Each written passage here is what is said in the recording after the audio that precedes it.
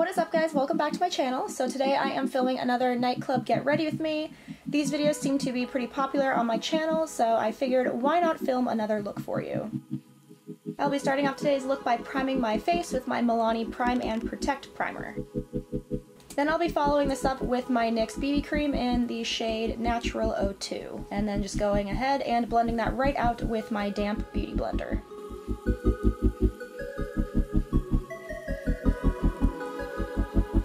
As always, I'll be using my Tarte Shape Tape in the shade Fair 01, which I believe is the lightest shade, and you can see that it's a tiny bit too light for my face, but it's okay because I will be bronzing that up shortly. Then I'm going to be going in with my Fioria concealer and just covering up any blemishes that are still showing. For contouring, I am going in with my Fenty Match Stix in the shade Mocha and then just blending that right out.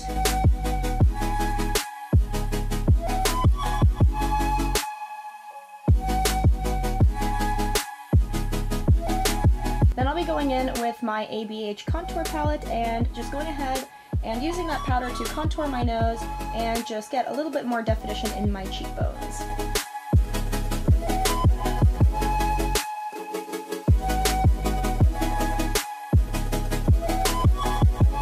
To bronze myself up even more, I'm going to be using my Bare Minerals bronzer in the shade Faux Tan. Blush, I am using my Bare Minerals blush in the shade Golden Gate, and just stippling that right into my cheeks.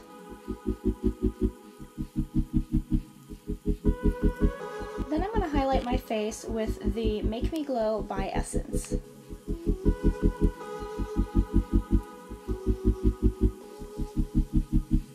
To save time, I'm going to do my eyebrow routine off camera.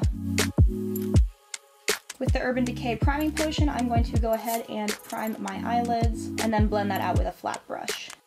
For an eyeshadow base, I'm taking this light shade from my Lorac Unzipped palette. Then from this like ancient Milani palette, I'm taking this nice warm bronze shade. And I'm going to be focusing this mainly on the outer V and into the crease. And with a larger fluffy brush, I'm just going to go ahead and blend that out even more so it's nice and smoky and seamless. Taking a burnt orange shade, I'm going to go ahead and darken up the crease and the outer V even more.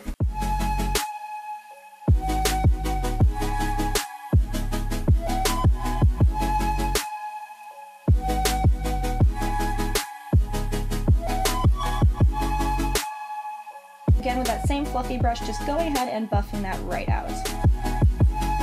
Then I'm going to take that same brown shade from my Milani palette and line the under parts of my eyes, careful not to drag it all the way into the corner, because I really want to keep that bright open eye effect. Next I'm using this brown lip liner by Kat Von D in the shade Crucifix, and I'm actually using that as an upper eyeliner. Then I'm taking an angled brush and going ahead and just blending that right out and making it nice and smoky. Then I'm going to set my face with the Hangover 3-in-1 Primer from Too Faced before I do my mascara. I find that this works better and it doesn't cause the mascara to smudge after. Using that same light shade, I'm just going to go ahead and brighten up the inner corners of my eyes.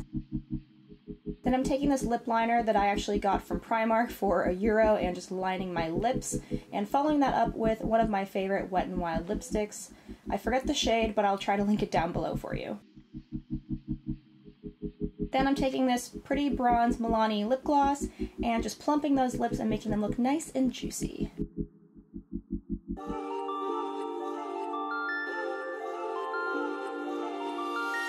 You only come and go when you feel like it. Been at it for a while, but you won't commit. I hope you guys enjoyed this video. Thank you so much for watching.